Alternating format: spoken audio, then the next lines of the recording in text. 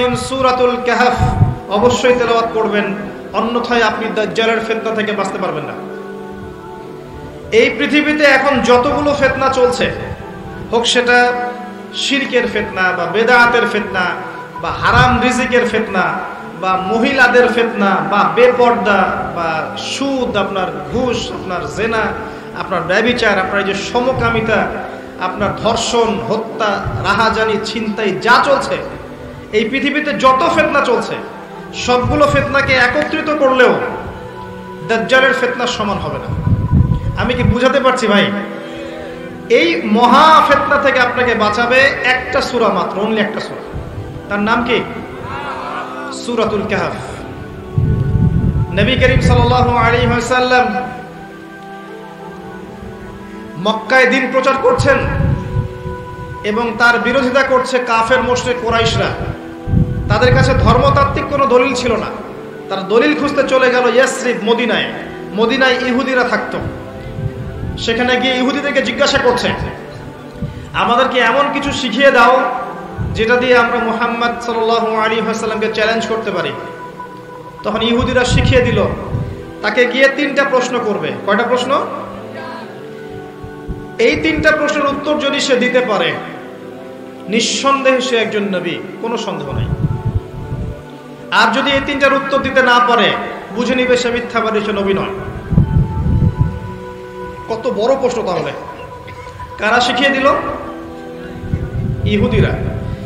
এক নাম্বার, তাকে গিয়ে জিজ্ঞাসা করবে, আসহাবুল কাহাফের কি হয়েছিল?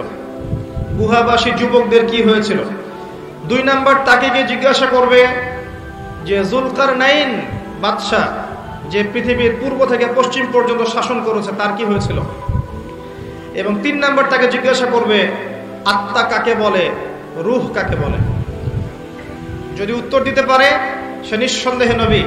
যদি না পারে, বুঝে নিবে সে নবী নয়। তারা চলে আসলো। নবী সাল্লাম কাবা ঘরের সামনে ছিলেন। তাকে জিজ্ঞাসা করল, হে মুহাম্মদ সাল্লাম বলো, তুমি যদি নবী হয়ে থাকো তাহলে বলো, এই তিনটার উত্তর কি? নবী করিম ইসলাম বললেন আগামীকাল এসো, তোমাদেরকে বলে দিব। আগামীকাল এসো, তোমাদেরকে বলে দিব। তিনি একটা শব্দ বলতে ভুলে গিয়েছিলেন। কি সেটা? ইনশাআল্লাহ। আল্লাহ পাক নবীদের ছোট ছোট ভুল ধরতেন। যে যত বড় মুমিন হবে, তার ভুল তত বেশি দেখা হয়, তাই না? দেখবেন একজন মানুষ দিনের দিনের জন্য কিছুই করেনি সারা জীবন, তার পিছনে মানুষ ব্যস্ত হবে না। যে তার পুরো জীবন, যৌবন, দিনের জন্য ঢেলে দিচ্ছে, তার পিছনে মানুষ লেগে থাকবে। এমন না ব্যাপারটা? নামাজ পড়ে না, তাকে দেখবেন, তাকে নিয়ে খুব একটা মাথা ব্যথা নাই। যে পাঁচ অক্ট নামাজ পড়ে, নামাজ একটু ভুল হচ্ছে, ওকে নিয়ে মাথা ব্যথা। আমাদের সাইকোলজি এরকম। তো নবী সাল্লামের এই ভুলে যাওয়াটাকে আল্লাহ পাক সংশোধন করার জন্য এবং আমাদেরকে শিক্ষা দেওয়ার জন্য আল্লাহ পাক এটাকে ধরলেন এবং কিছু সময় ওহি বন্ধ হয়ে গেল। অল্প সময়। এদিকে মক্কার কোরাইশটা তো উৎফুল্ল। সে তো বলেছিল, আগামীকাল উত্তর দিবে। এখন উত্তর দিতে পারছে না। আর নবী সাল্লাম ভেবেছিলেন যে জিব্রাহিল আলী ইসলাম তো তার কাছে আসেন। আসলে জিজ্ঞাসা করলেই তিনি বলে দিবেন। আল্লাহ বাকসুরা কাহাফের তেইশ এবং চব্বিশ নম্বর আয়াত নাজিল করলেন কয়েকদিন পর। আয়াতটা হচ্ছে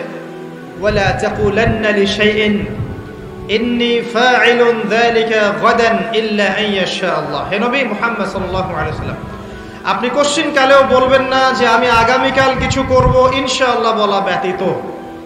এই শিক্ষাটা কাকে দিচ্ছেন আল্লাহ পাক? শুধু তাকে না আমাদেরকেও কেয়ামত পর্যন্ত এই শিক্ষা থাকবে না? থাকবে। অতএব ইনশা আল্লাহ দিয়ে আপনি আল্লাহর অনুগত সভ্যতা এবং আল্লাহ বিরোধী সভ্যতাকে চিহ্নিত করতে পারবেন। আল্লাহ বিরোধী সভ্যতা কখনো ইনশাল্লাহ বলে না। বলে? ওই নেটো কি ইনশাল্লাহ বলে কখনো?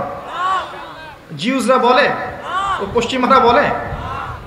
এবং ওদের ধাঁচে যারা নিজেদের মানসিকতা তৈরি করেছে, এরাও কখনো ইনশাল্লাহ বলবে না। বলবে? বলবে না। কিন্তু আল্লাহর বান্দারা বলবে, ইনশাআল্লাহ আমি আগামীকাল করব। তাই বলবে না? ইনশাআল্লাহ। যদি আল্লাহ চান, একটা হাদিসে এসেছে যে, ইনশাআল্লাহ যখন কেউ বলে, কোনো কাজ করার আগে তার ওই কাজটা সুসম্পন্ন করার দায়িত্ব আল্লাহ পাক নিজে নিয়ে নেন। একটা হাদিস শোনাই। সুলাইমান আলী ইসালাম তার একশো জন স্ত্রী ছিল। কতজন? এখন পশ্চিমারা আমাদেরকে শেখায় যে বহু বিবাহ ভালো না। ইসলামে চারটা বিয়ের কথা বলা আছে, ইসলাম কত অমানবিক ধর্ম, এগুলো শেখায় না? শেখায়। সুলাইমান আলী ইসলাম কাদের নবী? বানু ইসরায়েলের নবী। যিনি এই জেরুজালেম থেকে সারা বিশ্ব শাসন করেছিলেন। তার পিতা দাউদ আলী ইসলামও সারা বিশ্ব শাসন করেছেন এই জেরুজালেম থেকেই। পরবর্তীতে তিনি দাউদের পুত্র সোলাইমান আলী ইসলাম তিনি আরও বেশি ক্ষমতা নিয়ে বিশ্ব শাসন করেছেন। জিনরাও তার অনুগত ছিল। তিনি পশু পাখির ভাষা বুঝতেন, এমনকি পিঁপড়ার ভাষা পর্যন্ত বুঝতেন বাতাসে ফ্লাই করতে পারতেন। জানেন না আপনারা?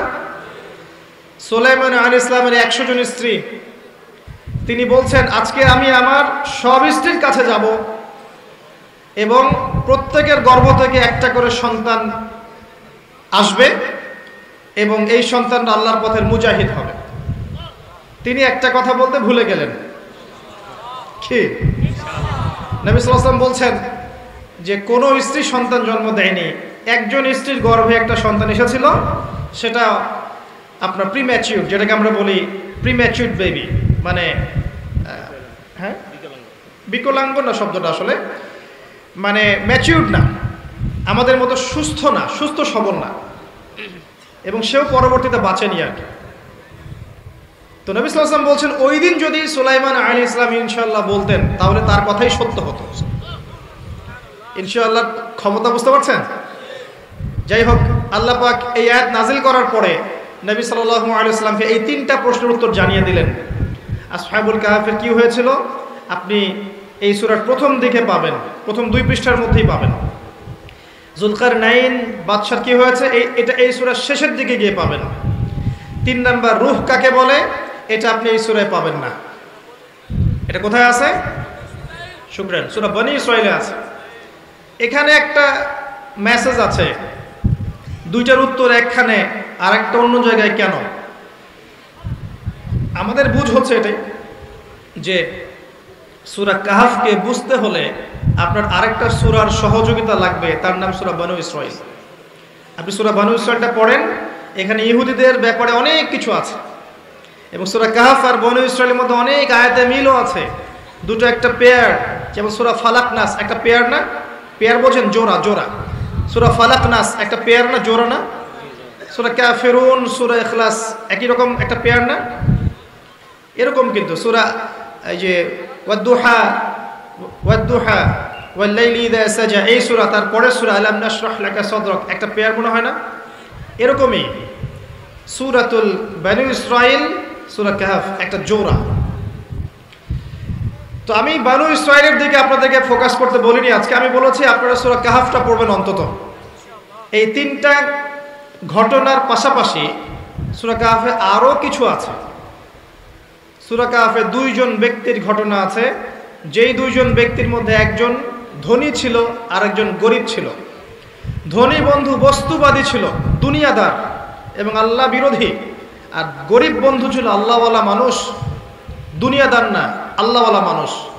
আল্লাহ পাক এই দুই বন্ধুর কথোপকথন এবং ধনী বন্ধুর কি পরিণতি হয়েছে শেষ পেশ এটা এই সুরের মধ্যে বলেছেন। এটা একটা চমৎকার গল্প।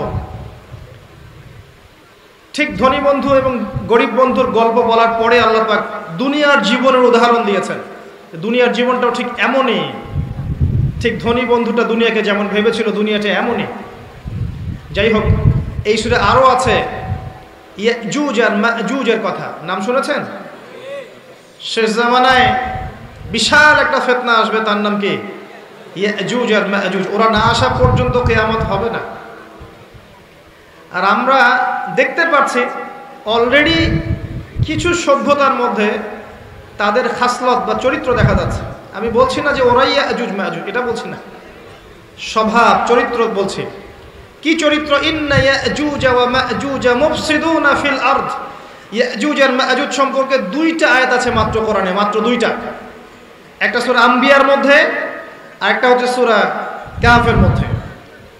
সূরা কাফে আল্লাহ পাক বলছেন, ইন্না ইয়াজুজ ওয়া মা'জুজ মুফসিদুনা ফিল আরদ। ইয়াজুজ আর মা'জুজের চরিত্র হচ্ছে, তারা দুনিয়াতে ফিতনার ফাসাদ সৃষ্টি করেছে। কি করেছে? তাহলে যারা এখন সারা বিশ্বব্যাপী ফিতনার ফাসাদ সৃষ্টি করছে, তাদের চরিত্র কার সাথে তুলনা করা যায়? এটি কি অপরাধ হবে? এই সুরের মধ্যে এটা আছে, এই সুরের মধ্যে আরও আছে। একটা বিশাল ঘটনা। এবং সবচেয়ে ইম্পর্টেন্ট ঘটনা, সেটা হচ্ছে নবী মুসা আলী ইসলাম এবং খিদের আলী ইসলামের ঘটনা। নবী মুসা আলী ইসলাম ভাষণ দিচ্ছিলেন এবং জনগণের মধ্যে একজন বললেন, আপনি তো অনেক চমৎকার ভাষণ দিচ্ছেন। আপনার চেয়ে কোনো জ্ঞানী মানুষ কি আছে? নবী মুসা আলী ইসলাম বলেছেন, না, নেই। আল্লাহ পাক ধরলেন। ওই যে নবীদের ভুল আল্লাহ পাক ধরেন। তোমার চেয়ে জ্ঞানী মানুষ আছে, আমার আরেকজন বান্দা, তার নাম খেদের। সে তোমার চেয়ে অনেক বেশি জ্ঞানী। নবী মুসা আল ইসলাম বললেন, আমি আমি তার সাথে মিট করতে চাই। কোথায় তাকে পাবো? আল্লাহ পাক বললেন, একটা মাছ নাও, মাছ। এই মাছটা যেখানে গিয়ে জীবন্ত হয়ে যাবে এবং যেখানে দুইটা সাগর মিলিত হবে, এখানেই তুমি তাকে পাবে। তিনি সফর করা শুরু করলেন। সফর করতে করতে করতে করতে এক পর্যায়ে ক্লান্ত হয়ে পড়লেন। রাস্তা ভুল করলেন। বললেন, খাবার নিয়ে আসো। তার সঙ্গীর নাম ছিল ইউসা বিন নুন। যিনি পরবর্তীতে নবী হয়েছিলেন, তিনি বললেন, খাবার তো নাই, মাছ তো জীবিত হয়ে চলে গেছে মাছে, পানির মধ্যে। আমি আপনাকে বলতে ভুলে গিয়েছিলাম। নবী মুসা আল ইসলাম বলছেন, বলো কি, ওই জায়গায় তো সেই জায়গা যেখানে আমি তাকে পাবো। চলো সেখানে। আবার ফিরে আসতে হলো সেই জায়গায়। এসে দেখলেন পাথরের উপরে একজন ব্যক্তি বসে আছেন। তার নাম খেদের বা শ্যামল। খেদের মানে শ্যামল। তিনি যেখানে বসতেন, সেই জায়গা সবুজ শ্যামল হয়ে যেত। তাকে আল্লাহ পাক তার পক্ষ থেকে জ্ঞান শিক্ষা দিয়েছিলেন। ওই ব্যক্তিকে আমি আমার পক্ষ থেকে জ্ঞান শিক্ষা দিয়েছিলাম আল্লাহর পক্ষ থেকে জ্ঞান মানুষকে শিক্ষা দেওয়া হয়েছে। কয়েকজন ব্যক্তি আছেন কোরআনে, যারা সরাসরি নবী ছিলেন কিনা এটা নিয়ে দ্বিমত আছে। কিন্তু আল্লাহর পক্ষ থেকে তাদেরকে জ্ঞান এবং প্রজ্ঞা দেওয়া হয়েছিল, কোনো দ্বিমত নাই। তার মধ্যে একজন খেদের, একজন লুকমান হেকিম আর একজন জুলকার নাইন আলিহিম আসসালাম আলিহিমুসালাম আসুন। খেদের আলী ইসলামকে গিয়ে নবী মুসা আল ইসলাম বলছেন, হাল আত্তাবিউকা আলা, হাল আত্তাবিউকা আলা আন তুআল্লিমানি মিম্মা উল্লিমতা রুশদা? আমি কি তোমার ইত্তেবা করতে পারি এই শর্তে যে আল্লাহ আপনাকে যে জ্ঞান শিখিয়েছেন সেটা আমাকে শেখাবেন? খেদের আল ইসলাম বললেন, ইন্নাকা লাং তাস্তাতি আমাইয়া সাবরা। তুমি আমার সাথে ধৈর্য ধরতে পারবে না। নবী মুসা আল ইসলাম বললেন, সাতাজিদুনি ইনশাআল্লাহু সাবিরান ওয়ালা আসি লাকা আমরা। ইনশাআল্লাহ আমি ধৈর্য ধরব, আমাকে আপনার কাজে বিঘ্ন সৃষ্টিকারী পাবেন না। ঠিক আছে, ইনশাআল্লাহ বলেছ, চলো এখন। কিন্তু নবী মুসা আল ইসলাম ধৈর্য ধরতে পারেন নাই, শেষে গিয়ে আপনি দেখতে পারবেন। খিদর আল ইসলাম আগেই সেটা বুঝতে পেরেছিলেন, যার কাছে আল্লাহর পক্ষ থেকে জ্ঞান থাকে, সে অনেক দূর পর্যন্ত দেখতে পারে। আমি কি বোঝাতে পারছি? পথ চলা শুরু হলো ফান তারা হাঁটতে থাকলেন একবার নৌকা ফুটা করে দেয়া হলো শর্ট করে বলছি আমি। একবার একটা বাচ্চাকে হত্যা করলেন আর একবার একটা দেয়ালকে নির্মাণ করলেন। আজকে গিয়ে পড়বেন সুরাটা শেষের দিকে আছে। তিনবারই তিনবারই মৌসা আল ইসলাম বললেন, আপনি এটা কি করছেন? নৌকা ফুটা করলেন কেন? যে যারা আমাদের উপকার করল, আপনি তার নৌকা ফুটা করে দিলেন? বাচ্চাকে কেন হত্যা করলেন? নিষ্পাপ বাচ্চা, সে কি দোষ করেছিল? এই দেয়ালটা নির্মাণ করলেন কেন? বিনা পারিশ্রমিকেই। ওরা তো আমাদেরকে মেহমানদারিও করল না। তখন খিদির আল ইসলাম বললেন হ্যাঁ দা ফিরক বাইনি বা বাইনাক। তোমার আর আমার মধ্যে আর পথ চলা হলো না। তবে আমি তোমাকে জানিয়ে দেব কাজগুলো আমি কেন করেছি। এক নাম্বার, আমি নৌকা এই কারণে ফুটা করেছিলাম। যদি নৌকাটা ফুটা না করতাম, নৌকার পিছনে জলদস্যু ছিল, নৌকাটা ভালো হলে নিয়ে চলে যেত। এক তাই আমি তার কোনো ক্ষতি করিনি, তার উপকার করেছি। দুই, এই বাচ্চাকে আমি হত্যা করেছি আল্লাহর আদেশে। কারণ এই বাচ্চা বড় হলে অনেক বড় কাফের হতো, অনেক মানুষকে কাফের বানাতো, নিজের পিতা মাতাকেও কাফের বানাতো। তিন, এই দেয়াল আমি নির্মাণ করেছি এই কারণে। এই দেয়ালের নিচে এই বাড়ির দুইজন এতিম বালকের পৈতৃক সম্পত্তি আছে। যদি নির্মাণ না করতাম, মানুষ নিয়ে চলে যেত। তাই বিনা পারিশ্রমিকেই আমি কাজটা করেছি। তিন তিনটা ক্ষেত্রেই মৌসা, তুমি বাইরের চোখ দিয়ে দেখেছ। তাই তুমি সত্য উপলব্ধি করতে পারো নাই। তিনটা ক্ষেত্রেই আল্লাহর নূর দিয়ে খেদের আলী ইসলাম দেখেছেন বলেই তিনি সঠিক পথের সন্ধান পেয়েছেন। আমি কি বোঝাতে পারছি? সুরা কাহাফ, আপনাকে এই গল্প কেন শিক্ষা দিচ্ছে? একটু মনোযোগ দেন। সুরা কাহাফে আপনাকে এই গল্পটা কেন দেয়া হচ্ছে? কেন শিক্ষা দেয়া হচ্ছে? কারণ সুরা কাহাফ এর মাধ্যমে আপনি কীভাবে দাজ্জালের ফেতনা থেকে বাঁচবেন? সেটা আপনি এক চোখ দিয়ে বুঝতে পারবেন না। আপনাকে আগে খিদির হতে হবে, তারপরে বুঝতে পারবেন। আমি কি বুঝাতে পারছি ভাই? আগে আমাদেরকে খিদির আলী ইসলামের মতো হতে হবে দুই চোখওয়ালা, যার শুধু বাইরের চোখ ছিল না, ভিতরের চোখও ছিল এবং জীবন্ত কলব ছিল, কলবে নূর ছিল। অনেক দূর পর্যন্ত দেখতে পারতেন। কি হচ্ছে সামনে, কি হতে যাচ্ছে? আল্লাহবাক তাকে সেই হিকমা প্রজ্ঞা জ্ঞান দিয়েছিলেন। এই হিকমা, এই প্রজ্ঞা জ্ঞান কখন আসবে? যখন মনের মধ্যে কোনো হিংসা থাকবে না, কোনো বিদ্বেষ থাকবে না, কোনো রিয়া থাকবে না, কোনো অহংকার থাকবে না, যখন মনের মধ্যে স্বচ্ছতা থাকবে, পরিচ্ছন্নতা থাকবে, দুনিয়ার পূজা থাকবে না, পরকাল কেন্দ্রিক চিন্তা ভাবনা থাকবে, বেশি বেশি কোরআন তেলাওয়াত করবে বেশি বেশি আল্লাহ জিকির করবে বেশি বেশি আল্লাহর জিকিরে জিব্বাকে সিক্ত রাখবে, কলবকে পরিষ্কার রাখবে, নূরওয়ালা মানুষের কাছে গিয়ে পড়ে থাকবে, তখন গিয়ে কলব জীবিত হবে, তার আগে হবে না। আমি মনে হয় বুঝাতে পারছি না। যখন এরকম হবে কলমের অবস্থা, তখন আপনি ইনশাল্লাহ দুই চোখ দিয়ে দেখতে পারবেন ইনশাআল্লাহ তাহলে তখন বুঝবেন কি কারণে সোরা কাহাফ আপনাকে দাজ্জালের ফেতনা থেকে বাঁচাবে। এখন আমি যদি আপনাকে প্রশ্ন করি সুরা কাহাফের মধ্যে কি আছে যা আপনাকে দাজ্জালের ফেতনা থেকে বাঁচাতে পারে, কি উত্তর দিবেন? কে উত্তর দিতে পারবেন, বলেন? সুরা কাহাফের মধ্যে কি এমন আছে যা আপনাকে দাজ্জালের ফেতনা থেকে বাঁচাবে? কে উত্তর দিতে পারবেন বলেন। বলেন, সাহস করেন। কি আছে? অন্য সুরায় কি নেই? এখানে কি আছে স্পেশাল যে আপনাকে মাসিহুদ্দাজ্জালের ফেতনা থেকে বাঁচাবে? নবীজি বলেছেন গ্যারেন্টি প্রথম দশ আয়াত, শেষ দশ আয়াত মুখস্থ করেন, আপনাকে দাজ্জালের ফেতনা থেকে বাঁচানো হবে। আপনার জীবদ্দশায় দাজ্জাল বের হলেও আল্লাহ আপনাকে বাঁচাবে। কি আছে সুরায়? আচ্ছা বাসায় গিয়ে খুঁজেন। গবেষণা করেন, চিন্তা করেন কি আছে। আমি একটা ক্লু দিচ্ছি। ক্লু দিচ্ছি। আসহাবুল কাহাফ আসহাবুল কাহাফ, এই গুহাবাসী, এই সাতজন বা নয়জন যুবক, তাদের গল্পের মধ্যে সেই শিক্ষা আছে, সেই কারণ আছে, যেই কারণ আপনাকে দাজ্জালের ফেতনা থেকে বাঁচাবে সুরা কাহাফের মাধ্যমে। বাকিটা আপনি খুঁজে নিতে পারবেন? সাহস নাই। সহজ করে দিচ্ছি, কারণ আমাদের বক্তব্য অনলাইনে যাচ্ছে, তারাও দেখবে। আসহাবুল কাফ এমন একটা সমাজে বাস করতেন, যেই সমাজটা ছিল দাজ্জালের ফেতনার মতোই। সেখানে শিরিক ছিল, সেখানে সুদ ছিল, জেনা ছিল, ব্যবিচার ছিল, মূর্তি পূজা ছিল, ফেতনা ছিল, ফাসাদ দিয়ে ভর্তি। আসহাবুল কাফ এমন একটা সমাজের মধ্যে থাকতেন, ঠিক এখনকার বিশ্বের মতোই অনেকটা। কথা কি বুঝতে পারছেন? ঠিক এখনকার বিশ্বের মতোই অনেকটা যেখানে ফাসাদ এখানে প্রতিটা ক্ষেত্রেই ফাসাদ শিরিক আছে হারাম আছে জুয়া আছে দুর্নীতি আছে আপনার মুসলিমদের বিভক্তি আছে বেদায়াত আছে সুদ আছে ঘুষ আছে দুর্নীতি আছে জেনা আছে ব্যবিচার আছে কি নাই সব আছে কি নাই নাই কি বলেন তো সমকামিতাও আছে والسلام على